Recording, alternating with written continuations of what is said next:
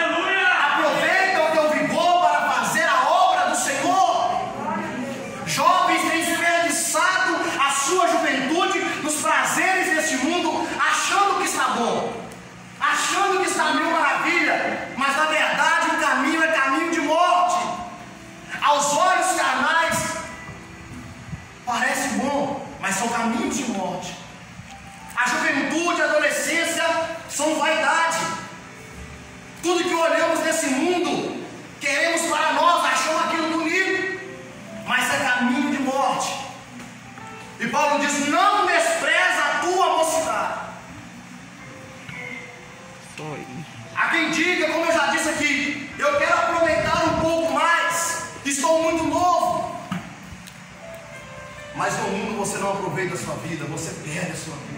É verdade. Aproveitar a vida é quando nós temos obediência à palavra do Senhor e fazemos aquilo que o Senhor nos ordena a fazer. Deus tem bênçãos extraordinárias na vida daqueles que guardam a palavra ainda nessa terra. Mesmo que o maior, o maior milagre, o maior benefício é a salvação, mas ainda e quando vivemos nesse corpo, para aqueles que obedecem a palavra, Deus tem uma vida próspera, Deus tem uma vida abençoada, Deus tem uma vida de milagres. Glória a Deus. Se guardarmos a palavra do Senhor, se guardarmos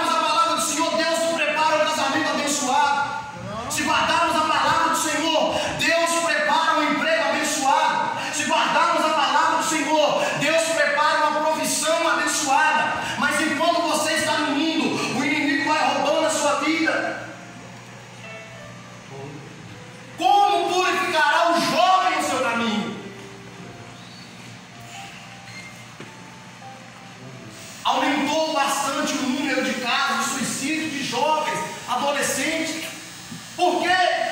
Porque o inimigo veio para oprimir, o inimigo veio para matar, veio para roubar, veio para destruir. Mas eu estou nesta noite dando um conselho que Paulo deu a Timóteo. Permanece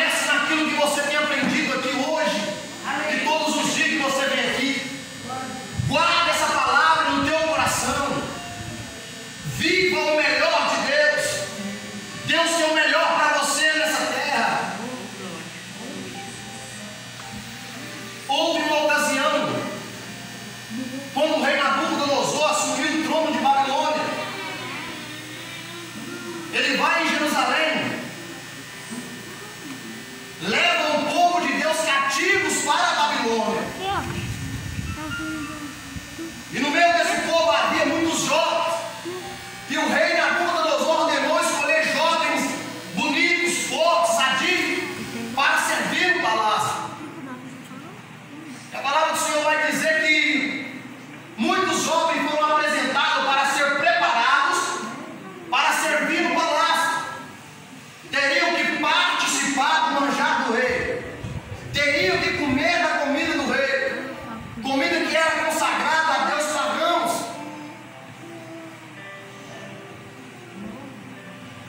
Essas comidas foram oferecidas a pessoas que tinham o costume de adorar o Senhor.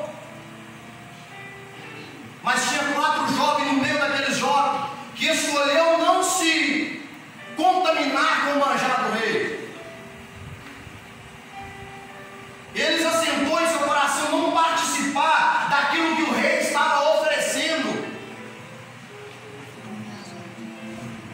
A palavra do Senhor vai dizer que eles vai dizer para, para o cozinheiro que ele preparava comida, aqueles que, que estavam observando os jovens para ser apresentado daqui três anos ao rei.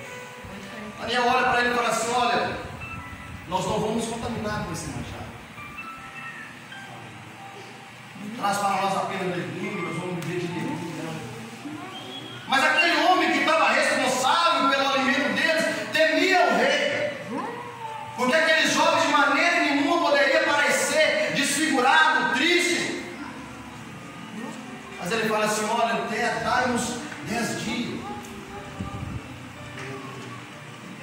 passaram eles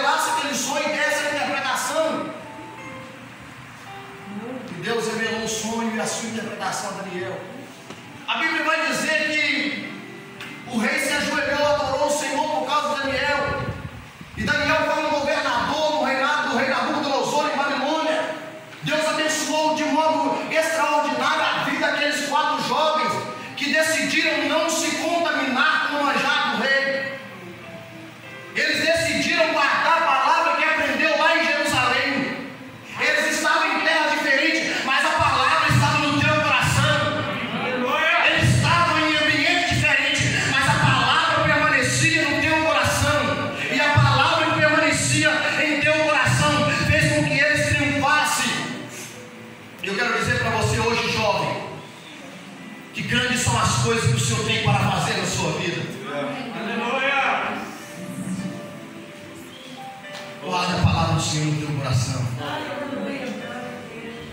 Tenha a palavra do Senhor como o seu salmista disse: Lâmpada para os meus pés, Senhor, é a tua palavra, e luz para os meus caminhos. Vocês estão aqui hoje, louvado seja Deus coisas extraordinárias para fazer na